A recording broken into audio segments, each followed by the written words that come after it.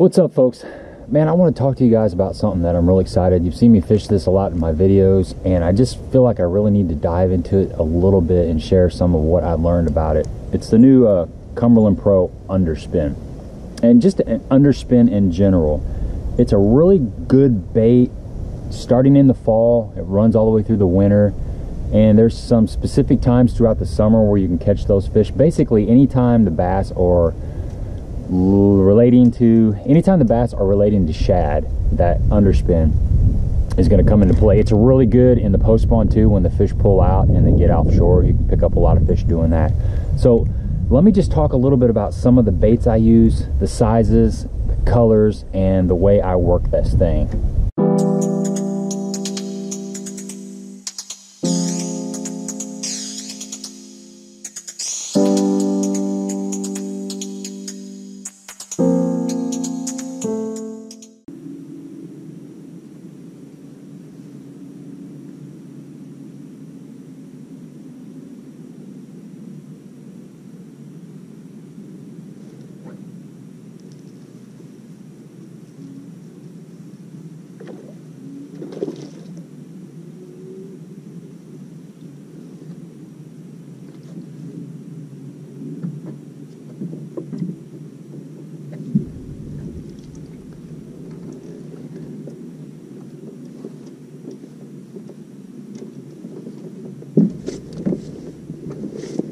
The old Cumberland Pro underspin does it again. Man, I had to come down here and fish for fun here the last couple minutes of the day.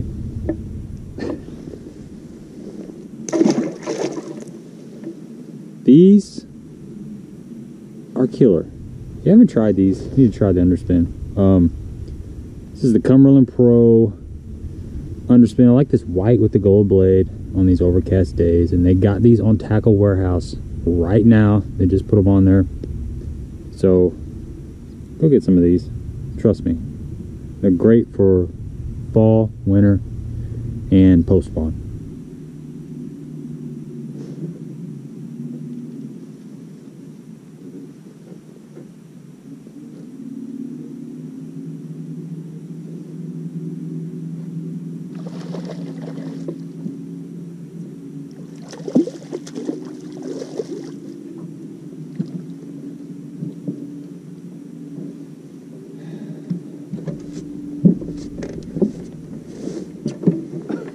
it's fun. I love catching like this.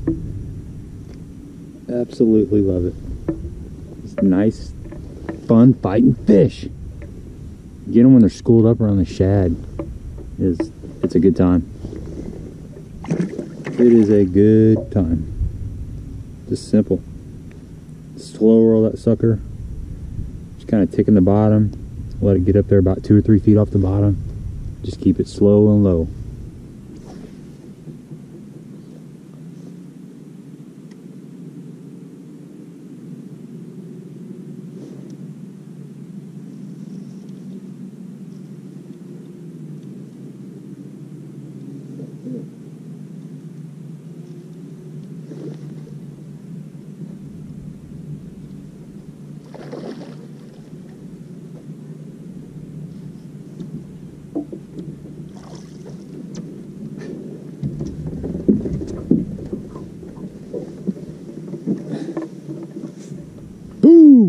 This is fun.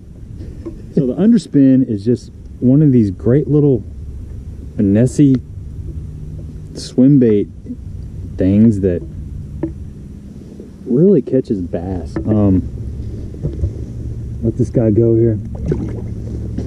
It works great all year long, but it seems like in the fall, in the winter, and then in the post spawn when the fish are done spawning and they start pulling out to these deeper deeper points and structure it really really shines. You can have some really good days there for a couple weeks. But let me let me uh i showed you this underspin let me show you some of the different colors and blade combinations that cumberland pro has in this. And then i'll talk about some of the little swim baits that i like to rig up on this. And then a couple different ways to work it my equipment that kind of stuff. Because i think you guys are going to want to get some of these if you don't already fish them they're really good fish catchers and they do catch some big fish too they work good on stripers too. Now, Cumberland Pro's got several good colors and sizes in this underspin. They've got a quarter ounce, they've got three eighths, and they've got a half ounce. And I usually stick with that 3 8 ounce. It seems to be kind of multi-purpose. If I was to make any adjustment, I would probably go to the quarter ounce because I think you can still get this 3 8 ounce down there in that 20 foot zone if you need to by slow rolling it. So it's kind of a multi-purpose head, but if I'm going, if I'm fishing really shallow, um, if the bait's really high up in the water column and I, need, I still need to roll it really slow, then I will bump up or down to a quarter ounce. This by all means has been my best color. This is a white chartreuse with a gold blade. It's got that little bit of chartreuse there on the nose. Excellent bait. You know, this has got a really stout gammy hook. I think it's a 3-aught. It's really sharp. It's got Sampo swivels on it. Nice quality blades on it. Um, the, some of the other colors. Let me show you some of the other colors they have. They've got a bluegills color. You know, it's kind of a green pumpkinish with a gold blade. And I haven't thrown that around, but if you're primary for, primary forage is bluegill. You know, like in the summertime, a lot of times these bluff walls and stuff, they have shade on them, and you'll see these bluegills suspended up high in the water column. That is probably a scenario where you could pick out that um, bluegills underspin and toss that thing around. I'd probably go with a quarter ounce on that one. But anytime they're relating to the bluegill, the bluegill is going to be a good color, and you're going to put, you know, obviously some kind of green pumpkin or so swim bait on there. Another color that they have is called the Plum Crazy and it's kind of a well it's a plum color um, let me pull one of these out for you let you look at it and this is a quarter ounce. I'll show you the quarter ounce versus the 3 8 ounce. Yeah that's the plum crazy right there. So this is a quarter ounce and then here is your white chartreuse. That's the 3 8 so there's a pretty big difference. You know another good thing about this underspin that I like is it's got that blunt nose and it kind of comes through cover. You I've talked about this before but it's real key to have a long wire right there to get this blade away from the swim bait body because if this blade hits the body it's not going to rotate it's going to cause you a lot of problems. I've ran into that with several different underspins. I got a lot of trash underspins but I'm just sharing this one with you because I've been fishing it around and I really think it's worth it. Um, the other color I don't have it. It's kind of a smoke shad color. And then they've got the same white. It's got no chartreuse. Let me pull it out for you. I'm just trying to keep from pulling all these out because I don't want them all over the place. But it's just a straight white, no chartreuse on the nose, and it's got a silver blade. This is probably be this will probably be my second favorite color. Um, like I said, the gold blade is real multi-purpose. If you want a little more flash, that silver blade's gonna come into play.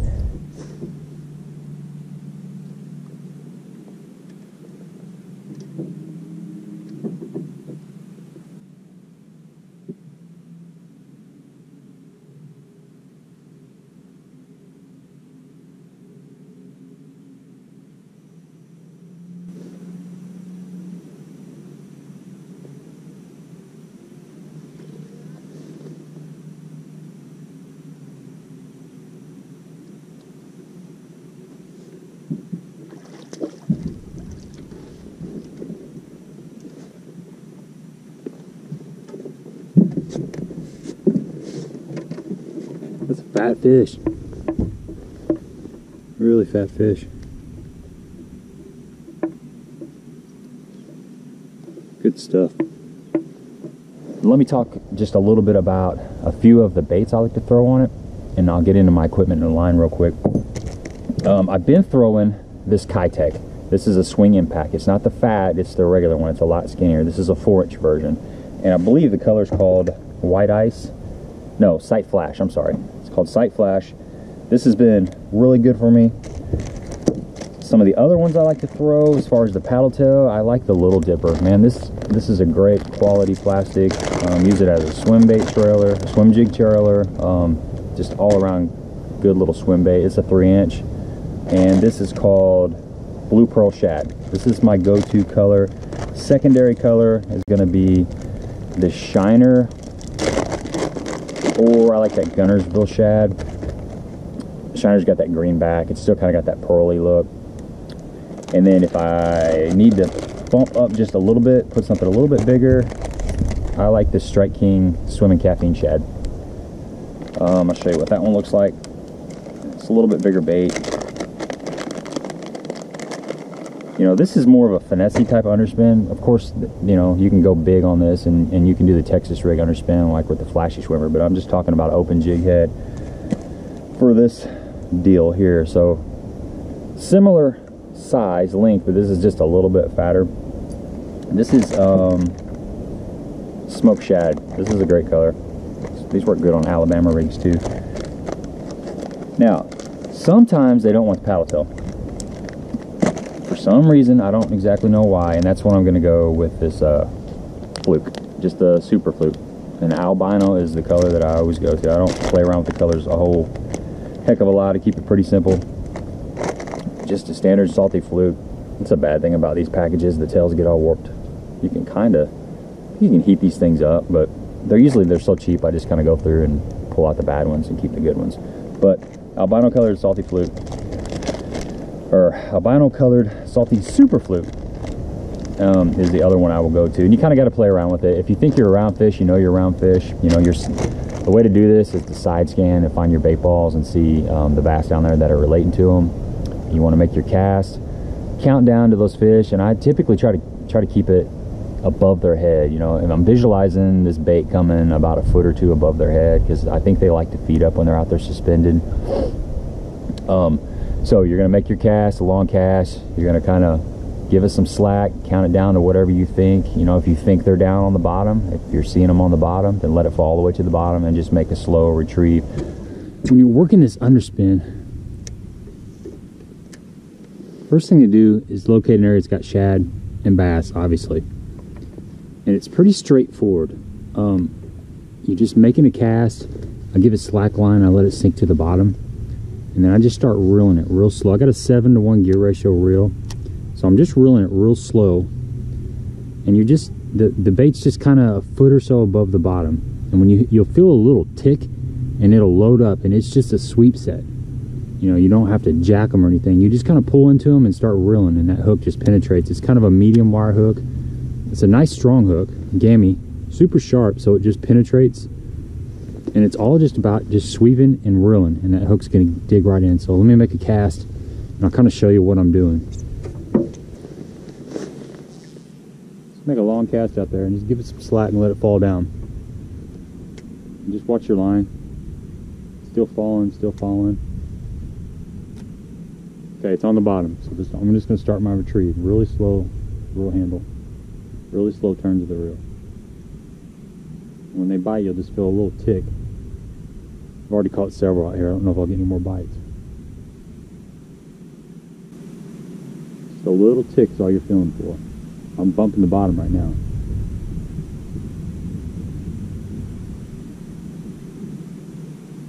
Coming off that point.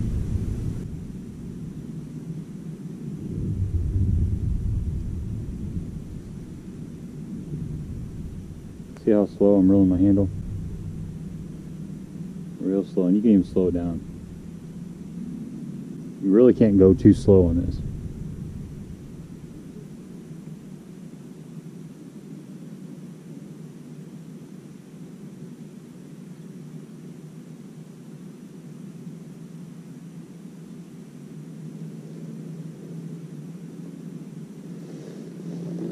That's it. It's that easy you can pop it a little bit stroke it a little bit but I normally just have like a just a slow steady reel. And I will I will slow the handle down a little bit speed it back up maybe give it a little twitch but it's pretty straightforward. As far as line I like 15 pound line. 12 to 15 you know some people use 12 and that's awesome. I mean um, but I've got this rod that I use for a lot of different techniques so 15 is kind of all around. Um, seven foot medium heavy. This is a quantum smoke rod you know you want to you want kind of a soft tip. You know you could even go with a medium that's a little bit of a heavier medium but it's real real important to have a little bit of a tip. Uh, seven to one gear ratio reel no secret there. And it's kind of a you know you make your cast and you're you're reeling in and you'll feel a little tick or a lot of times the, the bait will just kind of go away. They you know i think they come up behind it and just grab it and it just gets really really light. And it's just a sweep set. You just kind of pull to the side and just start reeling into them. This hook is perfect. It's a three aught hook and it gets them right where it's supposed to.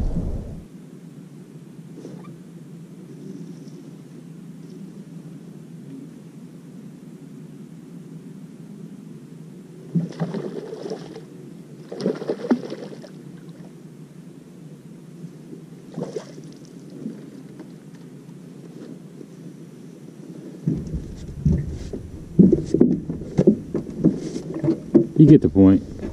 it's a deadly little bait. It works great in all these little southern Illinois lakes. And those lakes in Missouri and other parts of the country. Just killer, killer bait.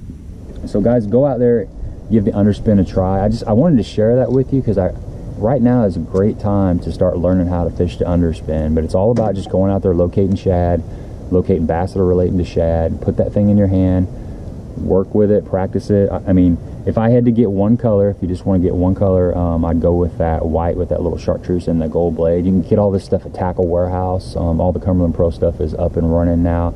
And pick you up a couple packs of swim baits. Um, definitely want to get those uh, Keitech swing impacts and some of the little dippers.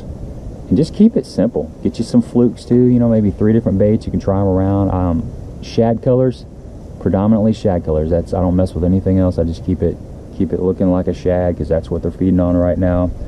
Um, and typically it's just a slow retrieve and I will kind of slow the handle down a little bit. I maybe speed it up a little bit. I might put a little bit of English on there, just kind of give it a little rod shake or something like that. And as you get closer to the boat, you can actually stop reeling and let it kind of pendulum down and get closer back to the bottom and start to retrieve again and you can stroke that thing too. Um, sometimes they want it popped up off the bottom so you're going to make your cast let it sink to the bottom. And there's two ways two ways to do the stroking thing. You can do, give it like three or four real quick reel handle turns that makes that bait jump up off the bottom or you can just actually lift your rod pop it up that way. And sometimes um, they will want one over the other. You don't want to get too crazy with it. It's just kind of little subtle jerks. But so straight retrieve or the stroking go out there and play with this get some bites. Please subscribe to the channel hit that like if you appreciate my content. Um, leave some comments let me know what you think about this. If you got some other underspins out there that you have confidence in and also some other baits you know do you have some swim baits that you've tried that you think oh outproduce some of these other ones. The um, strike king i think it's the uh, rage swimmer you know that 3.5 um, and then the the Keitech uh, 3.3 or the 2.8 2.8 might be too small. I might blow it out, but 3.3 uh, fat impact, swing impact is, is another one that I've thrown around on it. You know, something I'll do in an area where I've been getting bites like this, throwing that underspin, these fish have kind of shut off. I think they've, they've moved out a little bit off this point, but I will still go back through there with something really small, like a shaky head, or this is just a 3 8 ounce finesse football jig by Cumberland Pro with a little zoom speed crawl, just green pumpkin zoom speed crawl. And I'll put a little chartreuse dye on there. But before I leave an area where I've caught several fish like that, I'll definitely go back through it with something slow and drag it on the bottom because a lot of times those fish are sitting underneath those balls of bait on the bottom and you can pick up a few more bites by doing that. But this is a good little jig. Real finessey.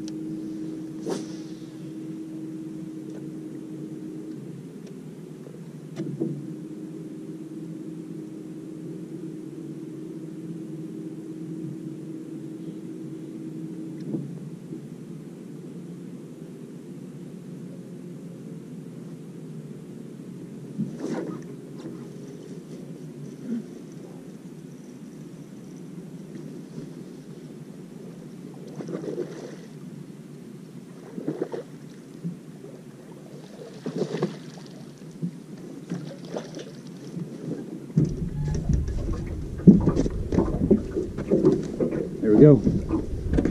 From a Pro Finesse jig in the mouth. So you should always go back through that area with uh, something on the bottom. You know, a shaky head is one is something that I use a lot, or just a little finesse jig. You'll usually pick up a few more bites by doing that.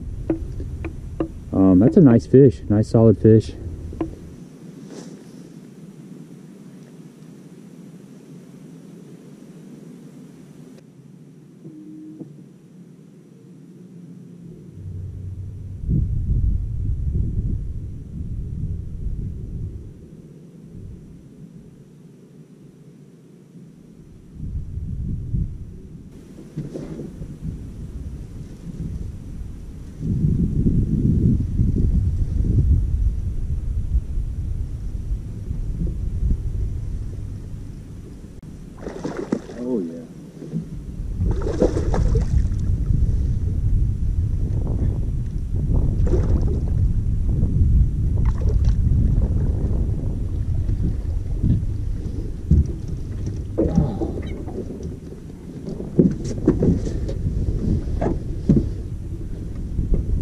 Look at that, guys. Got to clean up shop with a jig. He ate that thing. You know something I always do after I've caught some fish, suspended fish, and I'm around bait fish is I'll go back through that same area after they've shut off. You know, I made several casts with that underspin and they kind of shut off. This is a that little 3 8 ounce Cumberland Pro Finesse football jig with a little zoom speed crawl on there with some chartreuse on there. Nice little, I don't know what the color is. It's got some kind of purplish blue in there. It's mostly green pumpkin base or whatever. But nice solid fish. But I always go back through an area with a shaky head or a small finesse jig after I've caught a bunch of fish, these schooling fish, suspended fish, and I'll drag it real slow on the bottom because those fish are down there on the bottom underneath those bait balls and eventually they'll shut off. You can throw a spoon or something else in there, um, little pro spin, whatever, but I always go back and drag something on the bottom and you usually will pick up a few extra bites. And that's exactly what happened here. That's a nice one. wow, cool, let this guy go.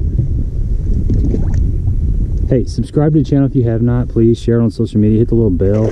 Leave some comments too. That really helps the channel. Um, YouTube's algorithm is all about comments, and the more times you leave a comment, the better it off I do. It helps the channel. Even if it's something like "Hey" or "Thank you" or "Your video sucks" or whatever, it doesn't matter. Just something um, that really helps the channel grow. So appreciate you guys for coming along on this little underspin slash football head adventure. Until next time.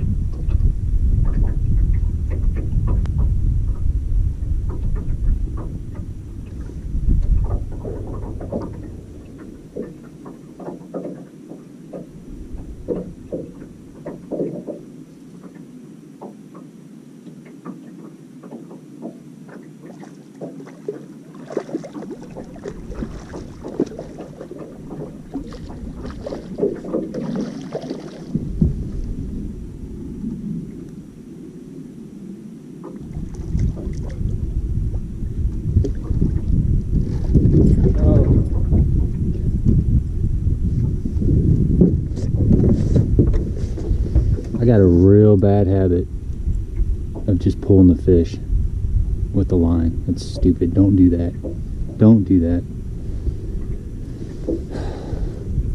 Had to try it.